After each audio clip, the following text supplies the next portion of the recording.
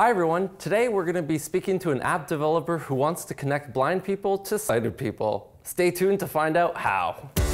Join me, Tasia Custodi, And me, Richard Harlow. for another episode of App TV. Hi, today we're joined by Hans Wiberg, founder of Be My Eyes, join us all the way from Denmark. Hi Hans. Hi, thank you for having me. So Hans, tell me how Be My Eyes works. It's a pretty simple app. Uh, when you, as a blind person, you, for instance, you are in your kitchen and you need help seeing something, uh, then you can uh, launch Be My Eyes, and then we will make a uh, live video connection to a random uh, helper speaking the same language and pretty much living in the same time zone. Uh, and then we establish this uh, video uh, connection, and uh, the helper will be able to see what you are pointing your phone at, and then uh, you can kind of talk about it. So it, it's a super simple app. So why did you want to create an app like this to help people? Well, uh, being uh, visually impaired myself, and uh, I was working for the Danish Blind Association and as a consultant, uh, so I know a lot of the blind people here in Denmark. So I kind of saw the need for it, and so I, I, I could see that it was possible to do it, and um, and then yeah, that's where I came up with the idea. So.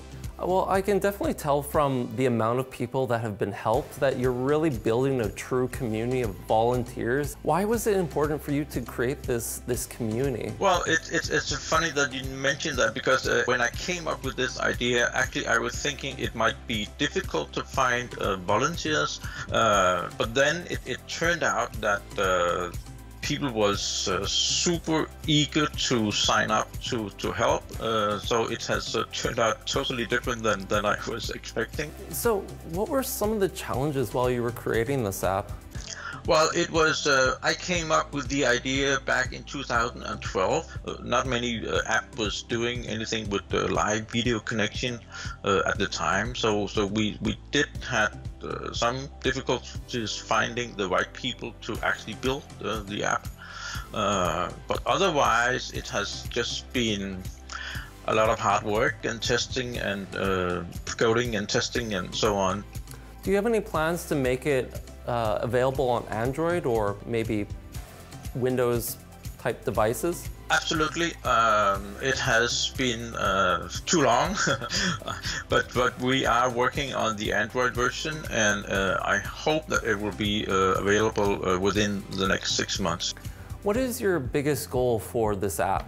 What I'm dreaming about is that we, uh, as it is right now, we are helping people in, uh, you can say, the rich countries, but the most uh, blind people they live in places like Africa and India, and I believe that they will be able to uh, to get a, smartphone and also be connected because connectivity is uh, spreading uh, rapidly also in places like Africa and India. So so that is uh, my personal big dream that we can be able to help people all over the place. We are present in in 100 different countries and we are connecting people in uh, almost 80 different languages. So uh, that's pretty impressive, I think. Before, I, I can remember you speaking in one of your TED Talks about how micro volunteering is, is kind of a, a way of how this app is more accessible to people who want to be able to volunteer and help other people. Would you be able to expand upon that?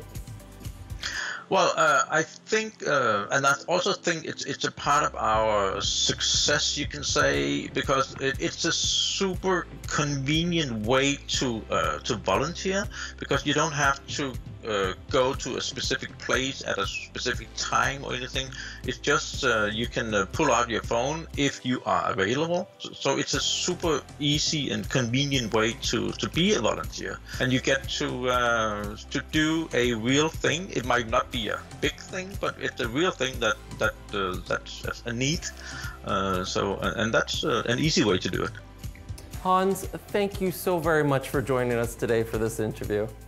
If you would like to download this app, you can for iOS. And if you would like to learn more about Be My Eyes, visit bemyeyes.org. For more shows from AppTV, visit ami.ca slash shows. See you guys later.